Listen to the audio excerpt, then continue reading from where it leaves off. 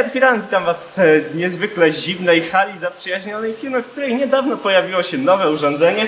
Jest to stół plazmowy PowerCat marki Mizera Automation. Jest ze mną e, Piotrek Mizera z firmy PM Cześć, Kuba. Project, który jest e, właścicielem marki i e, konstruktorem tych urządzeń.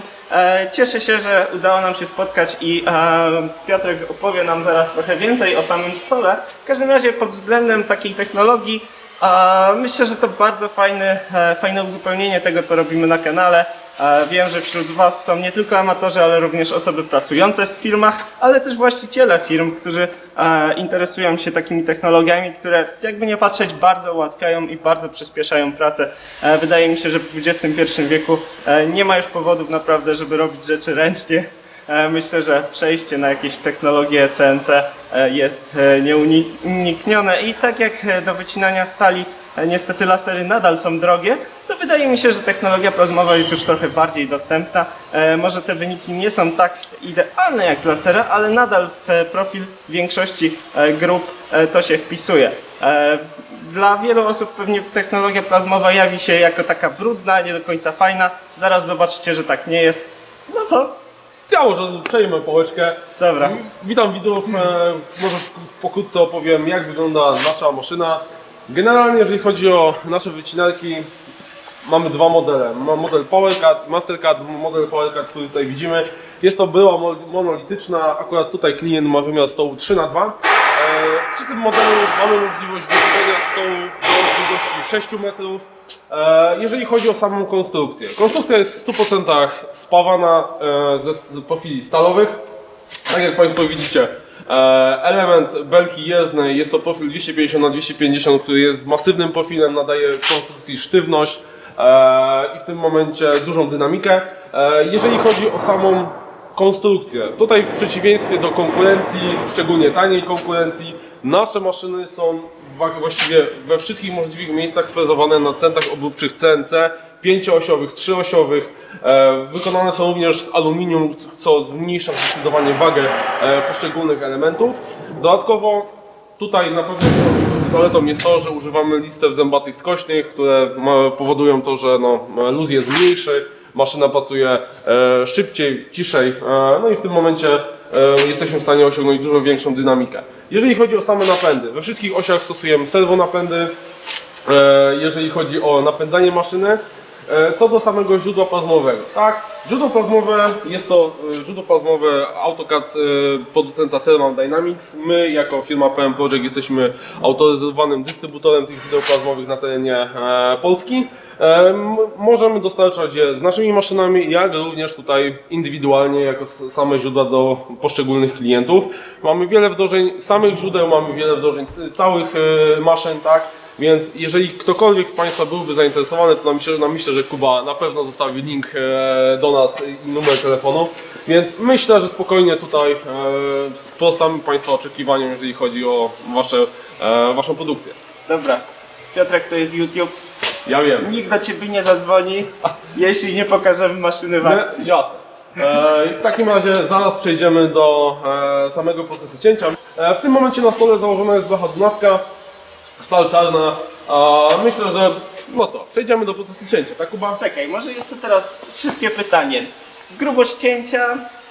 To zależy, bo mamy tak, trzy, trzy jakby modele źródeł. Seria A to jest taka naj, najniższa seria, powiedzmy dla, nazwijmy to hobbystów i generalnie małych przedsiębiorstw, które zaczynają dopiero pracę.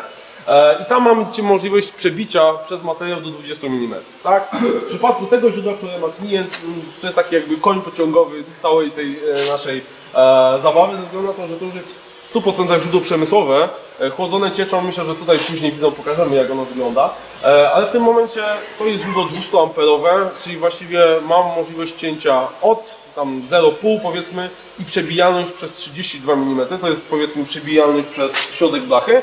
Jeżeli mówimy o maksymalnej grubości cięcia, to w tym momencie jest to 50 mm, tylko musimy zrobić wejście z boku materiału. Tak. E, I w tym momencie mamy zakres cię- cięcia do 50 mm. Bardzo fajną rzeczą przy tych akurat źródłach jest to, że jako właściwie powiedzmy jedyni, bo Thermal Dynamics to wymyślił, to jest technologia cięcia w osłonie mgły wodnej. Co to jest? Może ja pokrótce powiem. Jest to technologia, która służy do cięcia aluminium i stali nierdzewnej, tak? Czyli normalnie wcześniej, mm, powiedzmy we wszystkich systemach plazmowych znanych tutaj e, na rynku, gazem tnącym jest azot, a gazem osłonowym jest gaz H35. W naszym wypadku gazem tnącym jest azot, a powiedzmy gazem osłonowym jest mgiełka wodna, zwykła karanuwa, która idzie z ujęcia wody, przefiltrowana i powiedzmy w jakiś tam sposób e, zmiękczona, tak? E, Jakość cięcia jest nieporównywalnie lepsza, nieporównywalnie maszyna idzie, on powiedzmy ma szybsze posuwy względem tego standardowego procesu cięcia.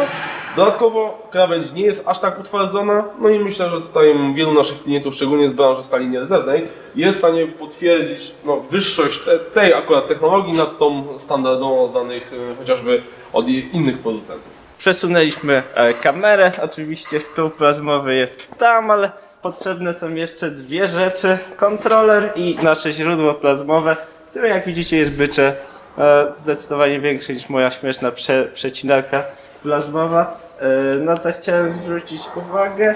E, No i co? Chyba warto teraz zapytać, jak to się właściwie obsługuje. Czy, czy, czy jest to trudne, czy, czy... To znaczy, powiem Kuba Ci tak.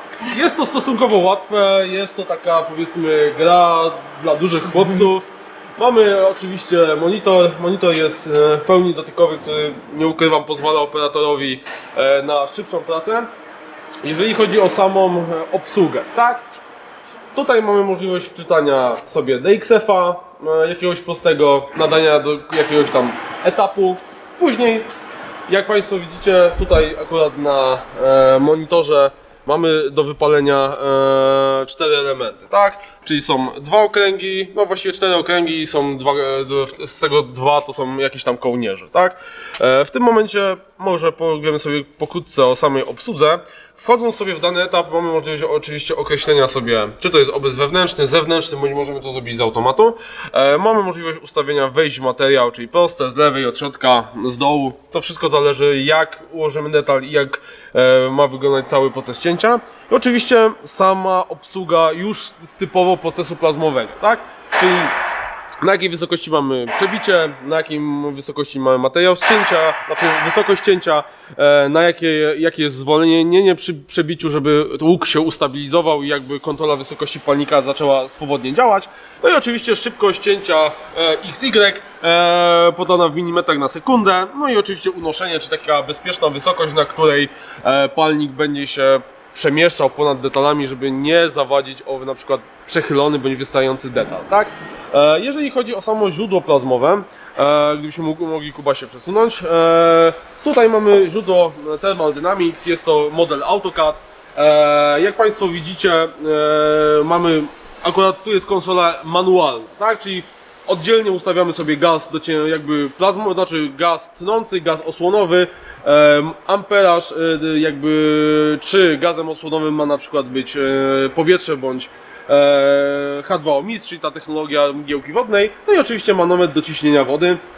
Ja może powiedzmy odpalę to źródło. Oczywiście poniżej mamy zbiornik do cieczy, tak? czyli tego co właściwie będzie chłodziło całe źródło plazmowe. Tutaj może nas być przez chwilę słabo słychać, bo niestety e, źródło jest potężne, ono ma swoje wewnętrzne jeszcze wentylatory, które na pewno będą nas tutaj zagłuszały. E, ale żeby Państwu pokazać obsługę, no pokrótce myślę, że e, powiemy jak to wygląda. Ono w tej chwili nabija się gazami, niestety gazy chyba nie są podpięte, więc e, wyskoczą nam jakieś tam błędy. E, Niemniej jednak, tak jeżeli sobie przes- przesuniemy w pozycję set, mamy możliwość e, obsługi i ustawiania amperażu dla poszczególnych blach, czy też dla e, całego arkusza. Możliwość ustawienia poszczególnych e, w tym momencie ciśnień, no ale myślę, że to już sobie darujemy, bo jest strasznie głośno. Wracając do samego kontrolera, tak? E, tutaj mm, jest zaszyta cała technologia cięcia, którą my przygotowujemy dla naszych klientów. E, są specjalne biblioteki, gdzie klient w, stosunkowo prosty e, sposób ma możliwość wyboru jednego z poszczególnych etapów. Akurat tutaj są przygotowane technologie dla stali czarnej, ponieważ klient głównie tnie stal czarną. E, I ustawione są dwa amperaże 55, 100 amper, więc w zależności od tego jaką grubą blachę tniemy w jakim amperażu klient wybiera poszczególny właśnie proces z tej tabeli i wszystko już dzieje się automatycznie, tak? Czyli maszyna sama wie e, w którym miejscu, e, my właściwie musimy ją tylko i wyłącznie zbazować i wskazać punkt 0 na naszym arkuszu, a wszystko inne dzieje się automatycznie i myślę, że za chwilę podczas procesu cięcia Państwo zobaczycie jak to wszystko się odbywa.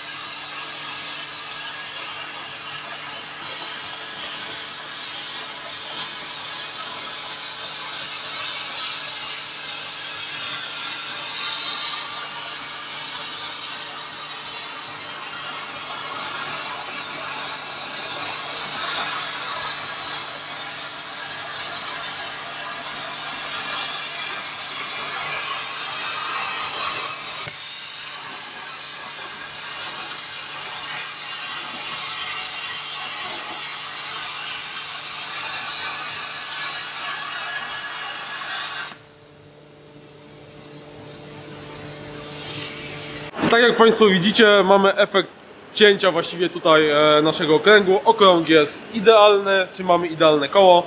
E, blacha 12, jakość krawędzi, tak jak widać, ukos jest praktycznie zerowy, ponieważ bazujemy całkowicie na nowych częściach. E, W przypadku tego systemu, czyli AutoCAD, ukos krawędzi jest od e, 3 do 5 stopni. E, W przypadku tego źródła UltraCAD, czyli najwyższej serii, ukos jest od 0 do 3 stopni. E, To wszystko zależy oczywiście od e, tego, czy części są nowe, czy, czy ciśnienie gazu jest odpowiednie oraz czy wszystkie parametry, które producent zaleca są spełnione. Oczywiście jeżeli nie, no to ta jakość jest gorsza. Niemniej jednak to są takie powiedzmy ukosy, krawędzi, które są książkowe i dla naszych klientów do zaakceptowania. W przypadku usług zawsze polecamy to źródło UltraCAD, ponieważ to jest źródło HD wąskostrumieniowe, e, daje lepsze rezultaty, lepszej jakości wypalanych otworów, ma więcej zastosowanych technologii, więc myślę, że tutaj e, to wszystko zależy od zasobności portfela i od tego, do czego takie źródło plazmowe ma służyć. E, Myślę, że więcej rzeczy e, powie już Kuba. Oddaję głos do studia.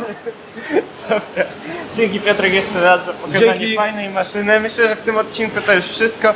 I tak nadużywamy tutaj gościnności. E, jak słyszycie, mimo że jest to wielka hala, w której produkuje się rzeczy, jest cicho. Nie chcemy zabierać im więcej czasu, plus jest strasznie zimno, mamy już czerwone nosy. Tak. Wyglądamy A jakbyśmy, nic jeszcze nie piliśmy. wyglądamy jakbyśmy walili od 5 rano. Ja w tej czap, czap, czapce też wyglądam jak, jak jakiś mirek w ogóle. Nieważne. Dobra, e, w każdym razie tak. e, Fajne urządzenie, jak widzicie, e, tnie zajebiście. W ogóle nie byłem, nie, nie byłem, nie, nie, nie byłem e, w stanie uwierzyć, że to, to jest plazma. To wygląda jak laser. Generalnie. No, tutaj mamy powierzchnię gładką. To oczywiście wszystko zależy od tego, jaką e, szybkością, jaką prędkością e, tniemy, bo to też ma znaczenie. Niemniej jednak tutaj w tym wypadku e, krawędź jest gładka, wręcz powiedzmy lustrzana. E, widać było rękę Seweryna, oczywiście musiał dotknąć jak zwykle wszystkiego, e, no ale myślę, że nawet e, Seweryn Tokarz potwierdzi jakość cięcia plazmowego na naszych maszynach. I tak jak widzicie, Seweryn jest zadowolony. W przypadku, jeżeli byście chcieli, może ja niepotrzebnie zabieram go z kupy, ale jakbyście chcieli więcej filmików, zawsze możemy tutaj do klienta jeszcze podjechać. Tak, myślę, że to może być fajna opcja kiedyś przyjechać, faktycznie zobaczyć jak w praktyce wykorzystuje ta firma, jakie elementy tną, e, jak to się im sprawdza. E, No, ale to myślę w kolejnych odcinkach. W tym to już wszystko. Piszcie w komentarzach po prostu, co chcecie zobaczyć. E, I no cóż, e, Piotrka możemy zawsze odwiedzić, e, czy to przy tej maszynie, czy to przy kolejnych, które będzie składał. E, No, ja wtrącę się, że na pewno jeszcze odwiedzimy nas przy ploterach frezujących, ale to oczywiście to jest taka moja mała autosugestia, e, ale myślę, że tak. te, te technologii CNC frezowania jeszcze nie było, ale, ale tutaj, tutaj patrzę na Seweryna, tutaj nieważne, robi się z tego dziwny materiał. Dobra, w każdym razie kończymy o tej taśmie, jeśli chcecie e, zobaczyć kolejne materiały o nich, e, to e, dawajcie znać jeszcze raz. Dzięki. Dzięki Kuba za przyjazd, dzięki widzowie i tak jak mówię, odzywajcie się, my na pewno jeżeli będziecie chcieli filmików może być znacznie więcej. Dobra, jak chcecie się dowiedzieć coś więcej o plazmach, to chyba gdzieś w opisie wrzucę jakiś kontakt, czy to do Piotrka, e, czy to na jakąś jego stronę internetową, bo no cóż, czy nawet jeśli nie chcecie plazmy, e, handlujesz jeszcze jakimiś e, Tak, jeżeli, jeżeli chodzi, nie, jeżeli nie chcecie plazmy, czy nie wiem, samych źródeł plazmowych, mamy również w ofercie oprogramowanie do projektowania, obróbkę kikamowskie, kama do obróbki skalowaniem, czy chociażby oprogramowanie do e, robotyki, tak, czy do programowania robotów offline, więc no, nasze por- portfolio jest dosyć szerokie. E, dla każdego coś miłego, jak to się mówi, więc każdy znajdzie coś dla siebie. E, tyle, no co mogę więcej chyba powiedzieć. Dobra, trzymajcie się, dzięki za oglądanie i jak zwykle miłego dnia. Bajo! Dzięki.